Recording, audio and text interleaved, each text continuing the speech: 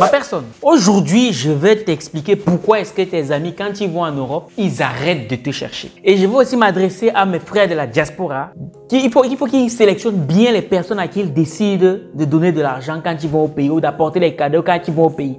Et pour ça, je vais te raconter une histoire vécue. Vécue, vécue. Ma personne, est-ce que tu sais qu'en ce moment, tous nos livres sont au prix exceptionnel de 6 000 francs jusqu'au 3 janvier 2022 Donc, que tu sois au Cameroun, au Burkina Faso, au Congo, en Côte d'Ivoire, au Mali, au Gabon, sache que jusqu'au 3 janvier, tous nos livres sont à 6 000 francs seulement.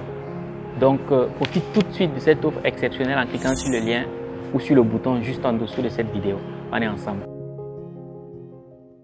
Donc, en 2022, au mois d'août, on se rend au Cameroun pour le week-end de l'écrivain.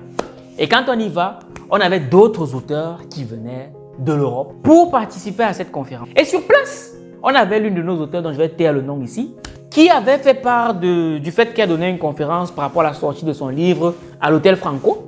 Elle a fait part de ça à tous ses amis restés au Cameroun et à toute la famille restée au Cameroun. Et je tiens à préciser ici que chaque fois qu'il y avait un problème de famille, chaque fois qu'il y avait un problème de famille, on l'appelait tout le temps et elle n'hésitait pas à envoyer de l'argent pour résoudre. D'aucuns inventaient même des problèmes. On invente le problème. Oh, j'ai une entonce au cerveau. Oh, j'ai le cheveu qui s'est cassé. Oh, j'ai le goitre. Oh, j'ai la cheville qui fait un genre. La flago envoie l'argent pour, pour les soins de santé et tout le bazar. Chaque fois qu'il y a un deuil, on l'appelle.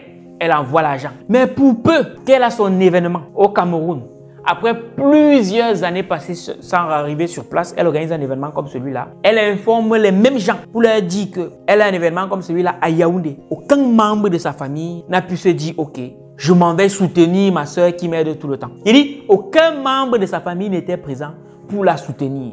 Chacun disait, oh, je n'ai pas le temps. Oh, je n'ai pas l'argent. Oh, c'est trop loin. Oh, je suis occupé. Chacun sortait toutes sortes d'excuses. Donc, de manière 10 000 plus un livre offert, aucun membre de sa famille n'était capable de payer 10 000 pour aller soutenir leur soeur pour un événement comme celui-là. En fait, ils se rappelaient que c'était leur soeur uniquement lorsqu'ils avaient des problèmes d'argent. Ma soeur, ma soeur, toi, tu sais qu'ici c'est dur. Mais quand elle a besoin du soutien de la famille restée au pays, il n'y avait personne. Bon, j'ai envie de dire ici que quelque part, elle a aussi bien cherché. Parce que moi, j'ai dit que on ne donne pas à tout le monde. Je répète, on ne donne pas à tout le monde. Moi, j'ai une logique claire, nette et précise. Donc, comme on trouvait que c'est méchant, mais je m'en fous. Moi, quand je vais au pays, si je suis venu te voir une fois et je me suis rendu compte que toi, tu passes ton temps à me soumettre tes problèmes d'argent et tu ne cherches même pas à savoir comment je vais. À chaque fois que tu m'écris, c'est pour me dire que tu as un problème d'argent. Au bout d'un moment, je ne te réponds même plus. Je ne te réponds plus. Et quand j'arrive au pays, on va dire, ouais, on va se voir. Mais quand j'arrive, je ne te cherche pas. Je vais te chercher qu'on va parler de quoi? Si à chaque fois qu'on va se voir, tu vas tout me parler de tes problèmes d'argent. Donc, à un moment donné, il faut que les gens de la diaspora, quand ils vont au pays, c'est vrai, il y a déjà avec qui vous avez vécu par le passé, vous avez cherché de très bons moments. Mais il faut savoir qu'avec le temps, les données changent. Tu ne peux pas être là avec, toujours avec des gens qui ont les mêmes problèmes tous les jours. Les mêmes problèmes d'argent tous les jours. Les mêmes problèmes de 1000 francs. Les mêmes problèmes de 2 2000. Les mêmes problèmes de 5 5000. Et tous les jours, vous parlez, vous, vous, parlez de quoi? Si tu ne peux pas avoir un problème un jour, tu as besoin de lui, il ne peut pas te venir en aide. Mais tous les jours, c'est lui qui te soumet les problèmes d'argent. À un moment donné, il faut couper les ponts, il faut fermer le robinet. Et eux-mêmes, il faut leur faire comprendre. Maintenant, je vais venir du côté de, des gens qui sont restés au pays. Hein, à vous là, parce que c'est bien de critiquer la diaspora ici, de dire que oui, les gens dorment sous les ponts, mais quand ils viennent là-bas, ils jouent les beaux. Oui, ok, ils sont sous les ponts, ils viennent, ils cotisent l'argent, ils viennent au pays, ils gardent plein de cadeaux et tout. Mais vous, quand quelqu'un vient au pays avec tous ces cadeaux-là, vous savez pas que si un jour, quand quelqu'un vient au pays comme ça avec tous ces cadeaux, quand il part, vous, vous achetez même, même, même deux bâtons de manioc, vous mettez dans son sac, vous lui dites que bon, voici ce qu'on a pu te donner. Vous croyez que ça va lui faire quoi? Vous savez pas que ça peut lui faire du bien? De se dire que ok, je quitté en Europe. Parce que quand, les gars quittent d'ici en Europe, moi, on dit que quand un Africain voyage pour, l'Afrique, il ne voyage pas, il déménage. Les valises sont pleines de choses. Plein, plein, plein, plein de cadeaux, de ci, de ça, machin, truc, il arrive sur place au pays. Et le pire dans tout ça, c'est que quand quelqu'un quitte de l'Europe pour aller en Afrique, pour les vacances ou pour un séjour, je sais pas trop quoi, quand les gens, quand justement vous êtes sur place, vous savez qu'il arrive, tout le monde t'appelle. Oh, bonjour, j'ai appris que tu es là. Tu viens, tu ne cherches pas les gens. Mais quand les gens te disent que tu viens, tu ne cherches pas les gens, sous-entendu, quand tu les cherches, tu dois en plus leur garder quelque chose. Tu dois en plus leur garder quelque chose.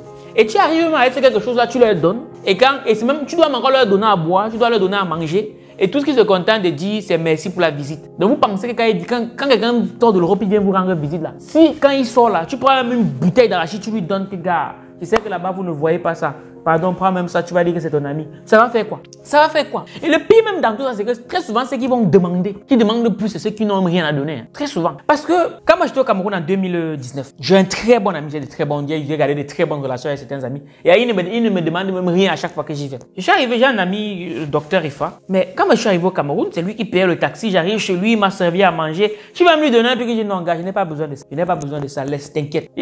Et quand, quand quelqu'un se comporte comme ça, tu te doutes bien que quand tu reviens ici, si tu appelles un jour que mon enfant est malade ou bien je sais pas, l'enfant est un peu chauffé, mais tu c'est toi-même qui cours même aller pour, pour lui envoyer l'argent, même s'il ne t'a rien demandé. Parce que tu sens qu'il n'est pas seulement là pour prendre, pour prendre. Non, tu sens que c'est quelqu'un qui est dans une logique d'échange. Un jour, quand tu, quand tu viens, je te reçois, parce que quand quelqu'un vient au pays, tu le reçois. Et maintenant, si un jour il y a une situation, tu, tu, as, envie de l'aider. Pas des tocards qui sont toujours là en train de te soumettre leurs problèmes d'argent, leurs problèmes de famille, leurs machin, truc. faut savoir que les gens qui sont en Europe aussi, ils ont leurs problèmes. Donc, quand quelqu'un se concentre, il t'envoie 100 euros, 200 euros, 300 euros, 400 euros, 500 euros. Sache que c'est plusieurs jours de travail qu'il t'envoie comme ça, qu'il te donne. C'est-à-dire, il allait travailler pendant plusieurs jours et il prend, il te donne. Mais toi, tous les jours, tu fais que soumettre les problèmes d'argent. J'ai un problème de 1000 euros.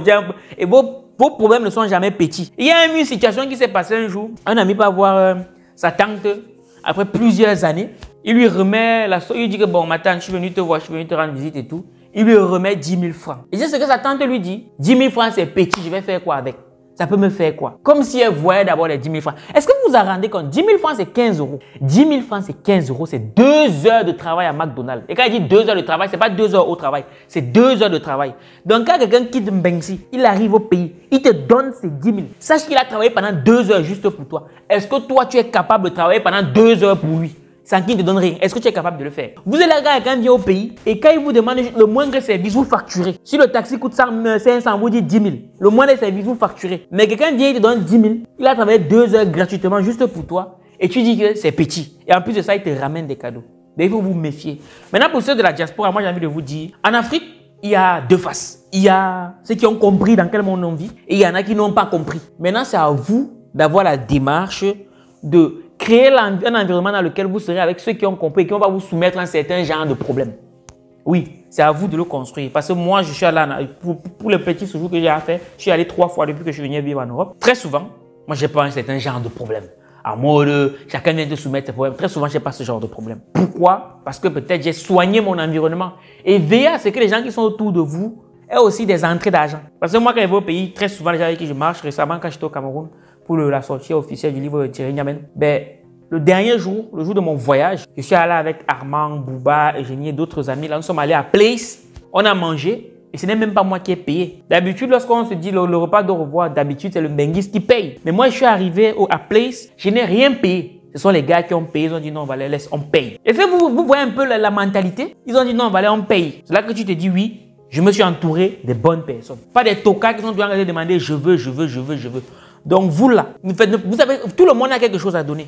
Donc il faut arrêter avec la mentalité que tous les jours quand on vient, tu dis que tu es foiré. Tous les jours depuis 5 ans, tu es foiré. Tous les jours depuis 10 ans, tu es foiré. Tu es plus foiré que qui? Donc même 10 000, si un jour il vient comme ça, tu donnes même, même, les, même, même, les, même les, croquettes, même les, les, caramels, même les arachides, tu donnes que pardon, je n'ai pas grand chose, mais pas au moins ça, ça te dépasse. Pour moi, ce n'est pas que tu n'as pas, c'est que tu es un gros chichard. C'est pour ça que tous tes amis de Mbeng te bloquent, ils te bloquent, ils te bloquent. Parce que vous allez vous rendre compte qu'au début, quand on vient en Europe, on échange, on échange, on échange. Mais dès qu'on se rend compte que ben, c'est toujours dans un sens, au bout d'un moment, ben, on te bloque. Parce que tu ne sais rien. C'est comme ça. Donc toi, même si je commence à te demander tous les jours, toi-même qui es au pays là, si moi qui suis en Belgique, je commence à te demander tous les jours, au bout d'un moment, tu vas me bloquer. D'ailleurs, dès lors que tu sens que je ne peux rien te donner, tu me bloques, tu me parles même, tu ne m'envoies pas de, plus de messages, c'est tant mieux. Donc, ça, chacun est discipliné son entourage. Dans cette petite vidéo, c'était pour sensibiliser les uns et les autres afin qu'ils puissent comprendre qu'en Afrique, il y a deux parties il y a ceux qui comprennent la vie, ceux qui savent qu'il faut donner aussi, ceux qui sont pas seulement là pour prendre. Et il y a l'autre côté qui se disent que comme toi tu es en Europe et ils sont en Afrique, ils n'ont rien à t'apporter. Donc il faut le maximum pour prendre encore et encore. Le menguiste est là, il faut prendre. Maintenant c'est à toi en Europe de choisir les gens avec qui tu veux fonctionner. Ce n'est pas parce que vous avez grandi ensemble, vous avez joué dans la boue ensemble que forcément vous devez garder une certaine proximité. Non. Une relation, ça s'entretient. Une relation, ça évolue. Et si chacun ne se met pas à jour, il n'y a pas de raison qu'on reste ensemble. C'est comme ça. Bref, c'était ma petite contribution parce qu'il y en a un peu marre d'avoir toujours les mêmes problèmes. Si cela t'aura été utile, n'hésite pas à partager partout dans les groupes, partout, partout afin de sensibiliser tes amis qui sont restés sur place au pays, qui attendent toujours que ce soit toi qui leur donne, qui attendent toujours, qui sachent que si eux aussi ils te donnent, ça peut te faire plaisir, qui sachent que si eux aussi ils prennent même une bouteille d'arachide, donnent lorsque tu pars, ça peut te faire plaisir et arriver ici aussi en Europe et dire que j'étais au pays, mon ami m'a remis un vêtement, j'étais au pays, mon, mon ami m'a remis une bouteille d'arachide, j'étais au pays, mon ami m'a acheté une casquette. Oui, ça fait aussi plaisir de savoir qu'on peut aller là-bas et revenir avec des choses. Oui, cela étant dit, c'était Valère Belias. Je te souhaite une excellente année 2023.